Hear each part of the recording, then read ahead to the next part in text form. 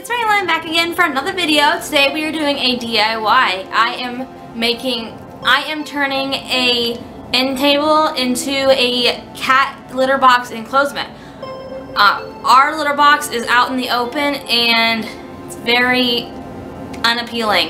And so I acquired an end table for a dollar on one of the Facebook garage sale sites and I decided that's what I'm going to turn it into. So today I got some of the supplies for it.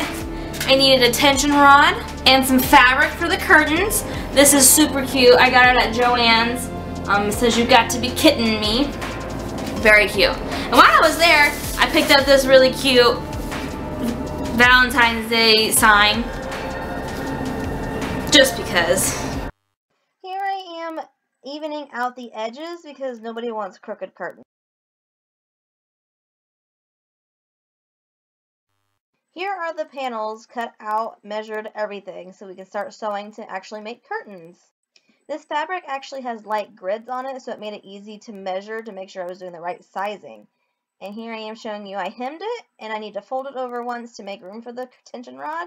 And here is the finished product. This fabric is so cute and fits the project perfectly. In this frame, I am attempting to measure out a straight line with my measuring tape and it was not working. So I cheated and got my T-square because I needed a crisp straight line to cut this back piece off. And here, first time jigsaw user attempting to cut a straight line. Wasn't very easy, but it did get done.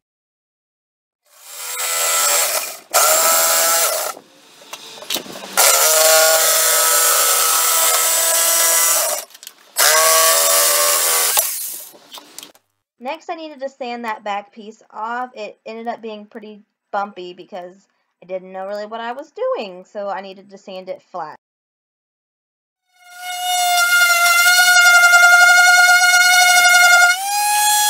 I couldn't sand it completely flat, so I am drawing another line and trying to use my jigsaw here in a moment to make it more even.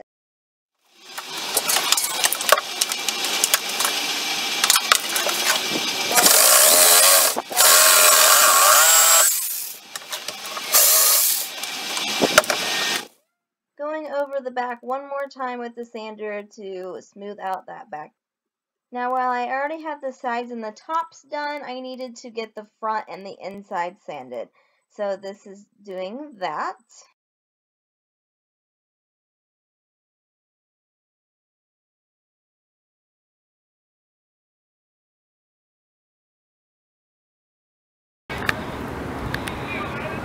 Now I've got it sanded for the most part, the places that are being seen.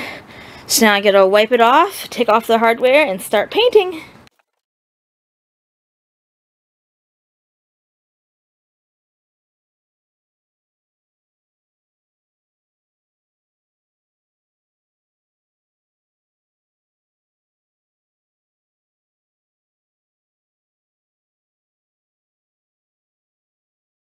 So before we actually started painting, I needed to drag out my air compressor and my nail gun to attach the piece we just cut.